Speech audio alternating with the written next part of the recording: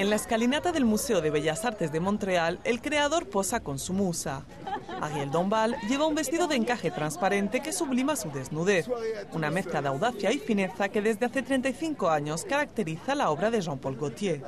Es de una perfección, de una invención, de una modernidad y de una belleza. Es además reflejo de nuestra época, es sublime. Hasta ahora Gautier huía de los museos, pero una puesta en escena muy realista terminó por convencerlo. Maniquíes cuyos rostros se animan se dirigen a los visitantes. La ilusión es sorprendente, las creaciones cobran vida de inmediato.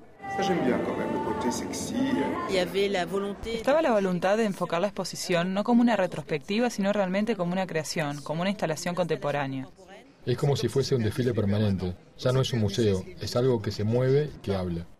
Y de la calle a las estrellas el recorrido es mágico. Para homenajear al creador rebelde que se atrevió a defender con su arte las minorías y el mestizaje, artistas como Kylie Minogue y Mylène Farmer han prestado sus tesoros.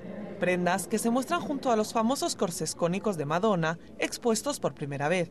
Algunas piezas, fotografías o trajes de películas son todavía inéditos.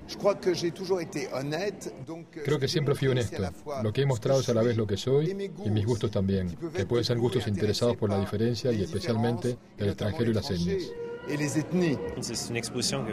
La muestra debería interesar a todo el mundo porque, si tengan 7 o 77 años, está la belleza y el virtuosismo técnico de los talleres de Jean-Paul Gaultier y el placer de acceder a la alta costura, que es único. Hay piezas como este vestido de leopardo a Valorios, que necesitó más de 1060 horas de trabajo. Tras Montreal, la muestra iniciará en octubre una larga gira por Dallas, San Francisco, Rotterdam, Madrid, pero de momento no hay prevista ninguna parada en París del icono francés de la moda.